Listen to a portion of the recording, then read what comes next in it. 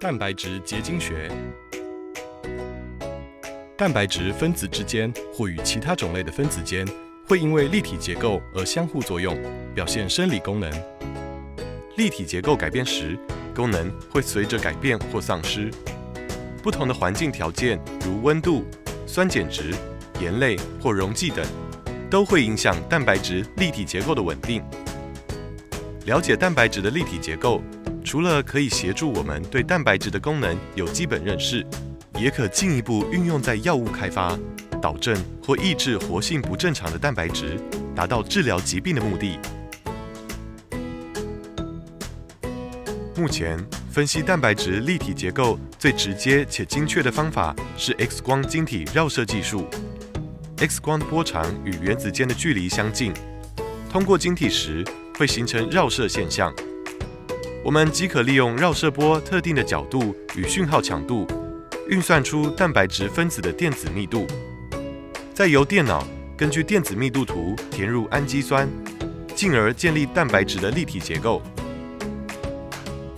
要得到精准的结构分析，必须先有纯度高又稳定的蛋白质晶体。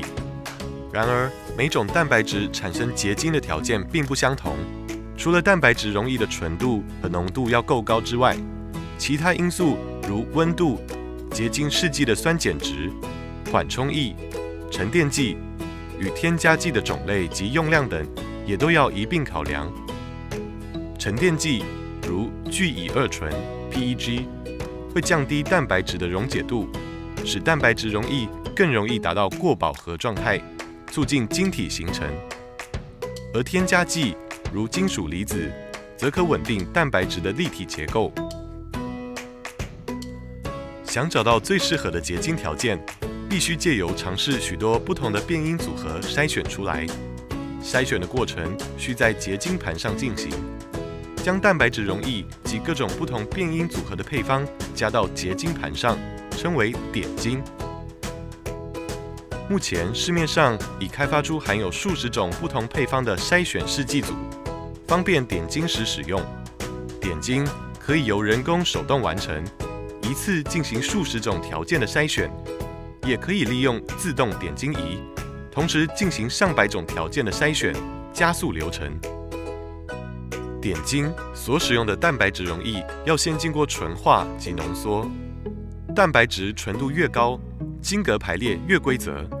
X 光绕射的讯号也会越清晰，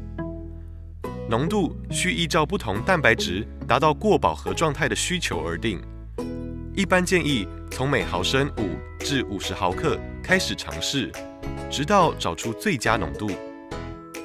至于纯化过的蛋白质总量，要根据预定尝试的结晶条件多寡估算。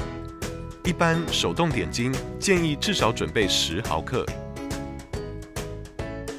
目前最常用的结晶方法为蒸发扩散法 （Vapor Diffusion），又分悬滴式 （Hanging Drop） 与沉滴式 （Sitting Drop）。在悬滴式结晶盘中，蛋白质溶液悬挂在结晶试剂槽上方，而沉滴式则将蛋白质溶液置于结晶试剂槽内的台座上，适合表面张力较弱的蛋白质溶液。通常是先在结晶试剂槽内加入五百微升结晶试剂，然后在玻片或台座上滴上一或二微升蛋白质溶液，接着从结晶试剂槽吸出与蛋白质溶液等体积的结晶试剂，稀释蛋白质溶液。操作过程注意，避免产生气泡或掉入杂质，影响之后晶体排列。这时候蛋白质溶液的体积加倍。蛋白质和沉淀剂的浓度都减半，水分相对倍增。最后以专用胶带将结晶盘密封，做好标记，盖上盖子，放置于摄氏四到二十五度之间的恒温柜内，等待晶体形成。在密封状态下，溶液表面会发生水分子的蒸发及平衡作用。由于蛋白质溶液内的沉淀剂浓度减半了。有较多的水分子会蒸发，在密封空间内与试剂槽内的试剂达到平衡的结果，部分水分最后跑到试剂里，